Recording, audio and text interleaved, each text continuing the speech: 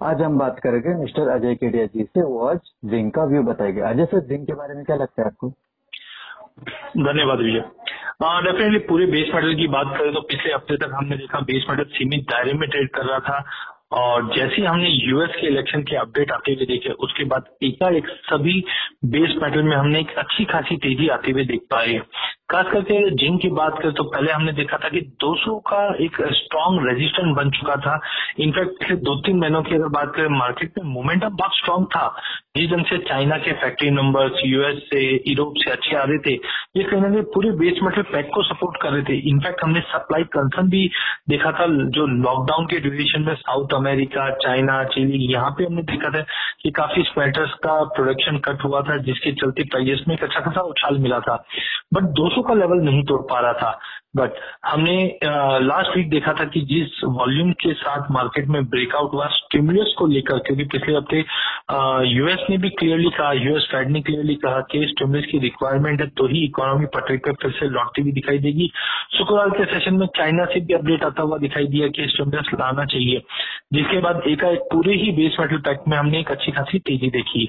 No doubt election के बाद हमने डॉलर में थोड़ा थोड़ा गिरावट आते हुए देख रहे हैं, जो एक सपोर्ट भी दे रहा है पूरी बेस मेटल को।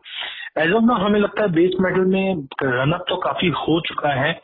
इनफैक्ट अगर हम एल एम जिंक की बात करें तो प्राइजेस में हमने एक अच्छा खासा रैली बनते हुए देखा है एज ऑफ़ नाउ बट हमें लगता है कहीं ना कहीं प्रॉफिट बुकिंग रह सकती है काउंटर पे।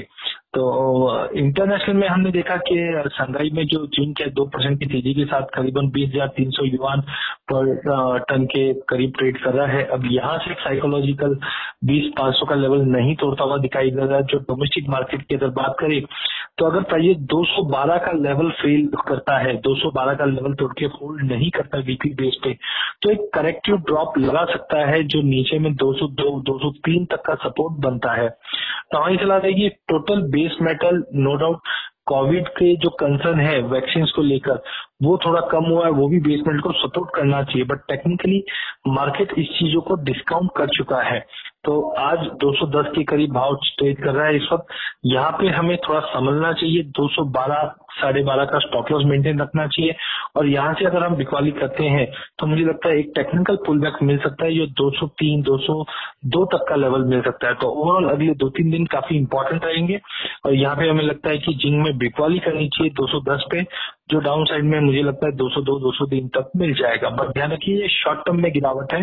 जब तक प्राइस 200 के ऊपर होल्ड है तो 200 से लेकर 212 का जो ये रेंज है, इस रेंज में ही मार्केट ट्रेड करता हुआ दिखाई देगा। धन्यवाद।